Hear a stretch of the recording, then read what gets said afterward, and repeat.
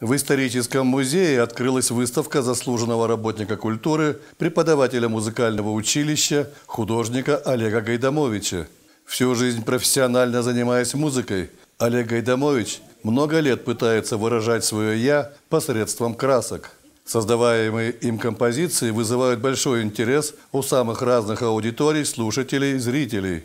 На выставке собрались друзья художника, поклонники его таланта, все те, кто неравнодушен к творчеству мастера. В этом году Олегу Гайдамовичу исполняется 75 лет.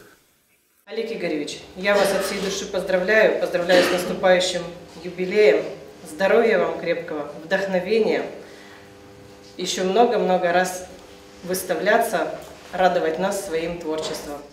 За свой творческий путь Олег Игоревич организовал более 25 персональных выставок. В этом году еще один юбилей, связанный с творчеством Гайдамовича – 35 лет художественной деятельности в Азбестовском историческом музее. Первая выставка состоялась в 1987 году. И надо сказать, с этого времени Олег Игоревич больше никогда не расставался с музеем, потому что он э, практически, практически во всех участвовал в городских традиционных выставках. У него э, в музее проводилось несколько персональных выставок.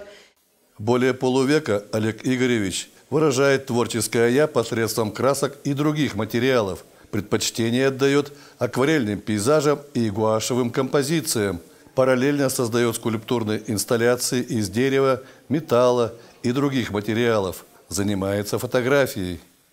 Самое главное, что э, его творчество, его э, музыкальные произведения, которые он исполняет, картины, которые он пишет, фотографии, которые висят в нашем музее, они, собственно, э, сделаны для людей. Э, не просто так чтобы вот показать себя, а именно, чтобы каждый задумался о своем месте в этой жизни, о своем существовании как человека. И вот Олег Игоревич вот аккуратно, тонко, деликатно направляет вот именно к такому философскому прочтению его творчества.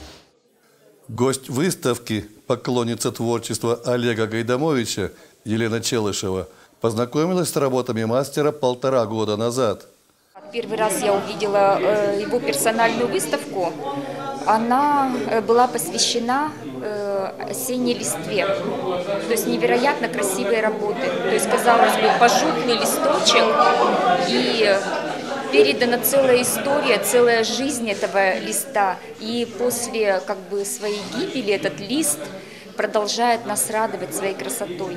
Вот так были переданы вот эти вот эмоции, скажем так, осени.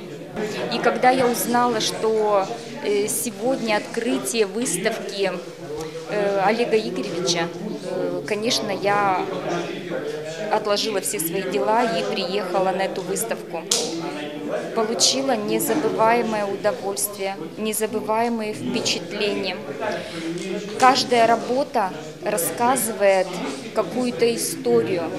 Ты смотришь на нее, и мысли уносятся в, и ты рассказываешь сама себе то, что ты видишь, э, деревенский домик, или поля бескрайние, или он передает одиночество какой-то работы. На выставке мы спросили Олега Игоревича, как он стал художником, что его побудило взяться за кисти краски.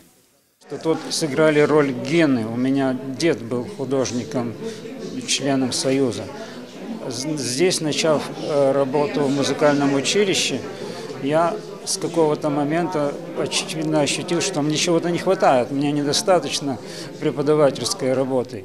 И меня потянуло вот в краски. И с тех пор, можно сказать, со дня основания этого училища, в 69 году, я и работаю э, преподавателем, и занимаюсь для себя красками. Писать картины Гайдамович стал в 22 года. И этот творческий порыв самовыражения сохранился у Олега Игоревича до сих пор. «Я пишу свои картины», – сказал Олег Игоревич, – «когда на меня что-то находит, и это что-то выливается на бумагу». У меня нет задачи что-то изобразить. Даже я бы сказал, что задача приходит в процессе. когда что-то начинает появляться, тогда и начинает созревать. Исключение имеют э, этюды натурные, когда я на природе и с, натуры что-то рисую. Это этюды, это не более того. Когда ты соприкасаешься с прекрасным, то тебе открываются глубины, о которых ты даже не догадываешься, сказала замглавы города Екатерина Волкова. Душа раскрывается настолько, что хочется дарить это тепло. И, наверное, это самое главное, что когда люди соприкасаются с этим теплом и могут его дарить, и тогда мир воцарится. И в не такие непростые события, которые случаются сейчас в мире, мы понимаем, что этот островок э, удивительного, удивительного чуда поможет нам справиться со всеми сложностями, выжить в самые трудные моменты, быть едиными, любить наш город, любить нашу Родину. Нельзя сказать, что она малая, она великая наша Родина. Мы гордимся тем, что у нас живут такие прекрасные люди, могут создавать, могут дарить, а это значит, что мы будем жить и будет жизнь продолжаться, и она будет счастлива. Поэтому спасибо вам, что вы являетесь частичкой того, что мы будем всегда гордиться и дарить и передавать нашим детям. Спасибо вам. На выставке выставлено более 150 картин Олега Гайдамовича, и ни одна из них не оставит вас равнодушным.